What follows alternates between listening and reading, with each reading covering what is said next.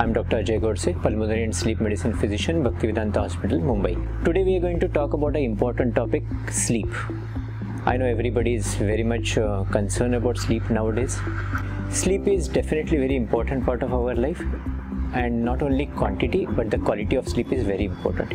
It not only gives us a good health, it also provides us a good immunity.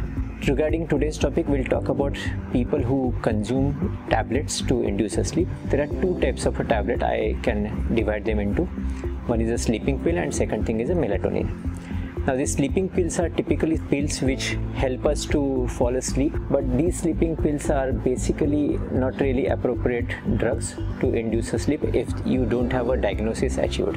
So if your diagnosis is confirmed that why you don't get a sleep and if there's a qualified prescription from a physician or a psychiatrist then sleeping pills are probably helpful for you. Regarding melatonin melatonin is comparatively very safer drug.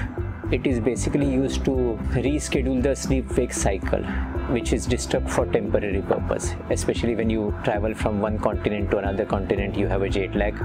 So melatonin help you to settle that particular sleep wake cycle melatonin also is used for uh, adolescents or young kids when they have a delayed phase syndrome. What do, you, what do you mean by delayed phase syndrome? People have a tendency of sleeping late 2 a.m or 1 a.m or 3 a.m now if no pills if no melatonin then what is else? Here the important topic of sleep hygiene comes into picture. So what is sleep hygiene? It is basically a non-pharmacological or non-drug way of handling our sleep wake cycle in a regular way so what are the few silent features to do that? One is regularity. So always keep your bed in time and bed out time same. Don't consume caffeine, alcohol or tobacco at least one and a half hour to two hours prior to your scheduled sleep time. Always invest into good sleep environment. So your room temperature should be very comfortable. It should not be too cold, too hot.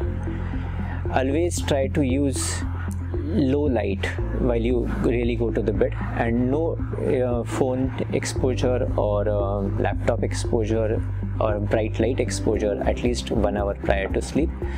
These basic things you should be following. You should usually get a good night's sleep. If you don't get a good night's sleep in spite of following the sleep hygiene then you can always see a sleep physician for better qualified help